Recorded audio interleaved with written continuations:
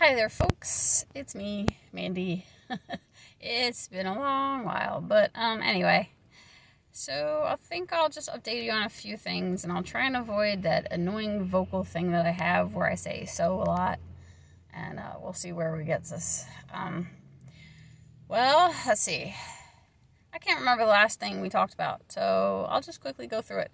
Um, Rue died. We had to put her down in April. Um, or May, yeah, April.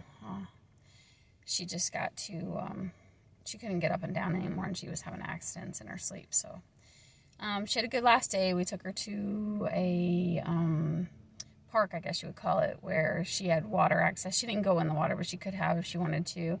And she just ran on the beach and sniffed around. And um, then we took her to the vet and had her put down. And the vet was very, they were awesome. They were just amazing. And that was the end of that, and that's all I'm going to say.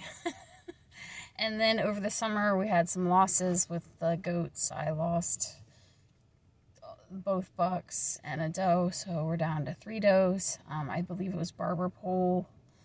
Um, I just I couldn't save them, so.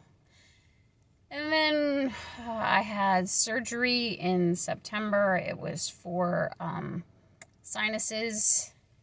Um, I don't really see where it helped me a lot but maybe it'll become apparent later. Sometimes it's they say it takes two to three months to really notice any um, improvements. And then during that time, um, Matt's employer cut down his hours, and um, they basically punished him for having to take off when I had surgery, even though he gave notice of, I believe we scheduled it two or three months in advance, so they knew it was coming. Um, I don't know why they did that, but anyway, so he found a new job uh, which is great, but um, finances being what they were, I needed to get another job, or I needed to get a job instead of just being a homeschooling homestead and mama. So I am currently, as of October, employed with our county's um, 911 dispatcher center. Um, I'm currently in training. It's a long training uh, process, just in case you were wondering.